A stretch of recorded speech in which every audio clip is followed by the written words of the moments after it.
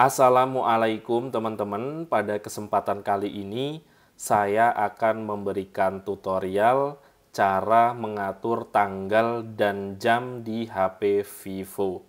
Caranya sangat mudah. Kalian bisa tonton video ini sampai selesai. Oke teman-teman, langsung aja kita mulai tutorialnya. Silahkan kalian masuk ke menu pengaturan. Kalian bisa masuk melalui menu ini atau kalian bisa masuk melalui menu kontrol.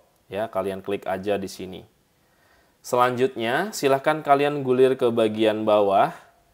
Kemudian, kalian pilih menu pengelolaan sistem. Kalian klik saja. Selanjutnya, kalian lihat menu di bagian bawah. Kalian pilih tanggal dan waktu. Nah, di menu ini kita bisa mengatur tanggal dan jam di HP Vivo kita, guys. Kalian bisa menggunakan fitur otomatis, artinya jamnya akan menyesuaikan dengan operator yang ada di HP kalian.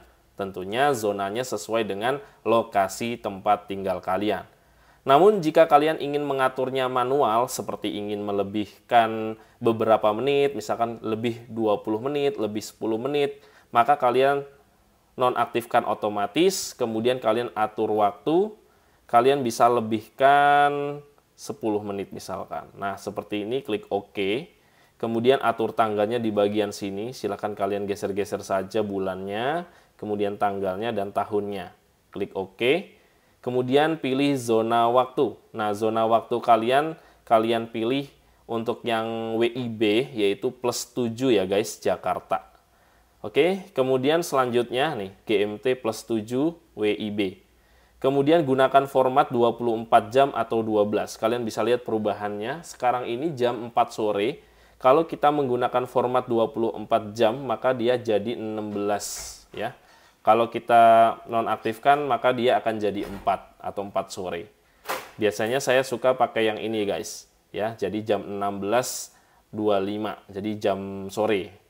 Kemudian kita back. Maka tanggal dan waktunya sudah sesuai dengan apa yang kita atur guys. Oke teman-teman, itulah tutorial singkat dari saya, yaitu e, cara mengatur tanggal dan jam di HP Vivo. Mudah-mudahan video ini bermanfaat. Terima kasih sudah nonton. Jangan lupa like, komen, dan subscribe.